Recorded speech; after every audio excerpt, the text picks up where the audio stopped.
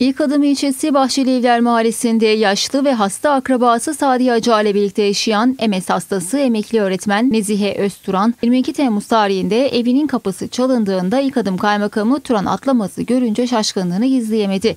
İnan Ankara'dan İlçe Kaymakamı Turan Atlamaz ve İlk Adım Sosyal Yardımlaşma Müdürü Esat Bayrakçı ile düzenlenen ziyarette MS hastası emekli öğretmen Nezihe Özturan ziyaretten çok memnun olduğunu söyledi. Gönül listemizdesiniz. Şimdi her hafta arkadaşlarım, sosyal hizmet uzmanlarımıza dağıttım.